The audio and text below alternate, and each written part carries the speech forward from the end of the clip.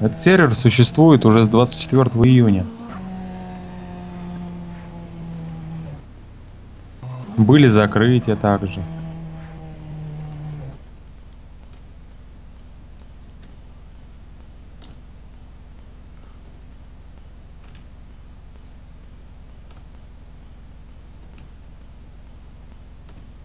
Ебать, я тут чего вытворяю, нахуй, около здания суда. Ну, у меня тут здание суда есть.